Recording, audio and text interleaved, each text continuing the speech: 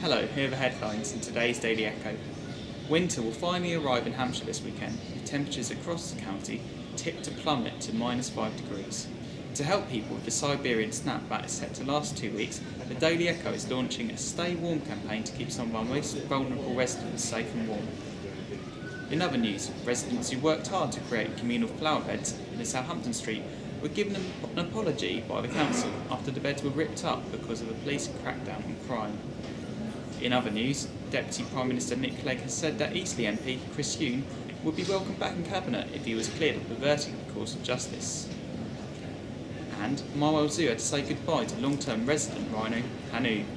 The rhino, who's been an attraction at the zoo for more than 15 years, was put down following a long-term battle with severe arthritis. And in sport, Saints defender Jos Hooiveld is set to return for Saturday's game against Aston Villa. For all this and more, pick up a copy of today's Daily Echo.